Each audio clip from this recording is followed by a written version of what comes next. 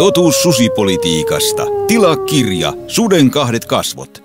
Mistä suden suojelu sai alkunsa ja mihin se perustuu? Kuinka paljon taloudelliset tekijät säätelevät suurpetojen suojelua? Mikä osuus on luonnonsuojelujärjestöillä maamme susipolitiikassa? Suomessa susikeskustelu käy kuumana. Sanan säilää ei säästellä internetin keskustelupalstoilla, lehtien yleisön osastoilla, saatikka kaduilla ja toreilla. Näihin ja lukemattomiin muihin kysymyksiin antaa vastauksen uutuuskirja Suden kahdet kasvot tekijä, imatralainen suurpedot ja luonto ryn puheenjohtaja Marko Lind.